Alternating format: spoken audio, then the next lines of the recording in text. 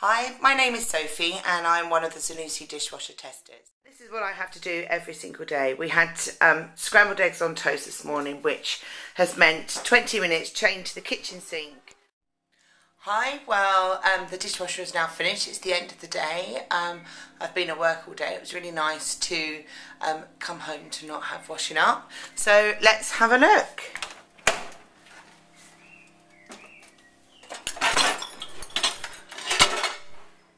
Wow. I think you can say I'm really happy with the fact that the way that that's come out. Um, everything appears clean. There's no smear marks. Um, it definitely passes my test. Hi, Sophie here. We've been trying in the dishwasher now for about three weeks.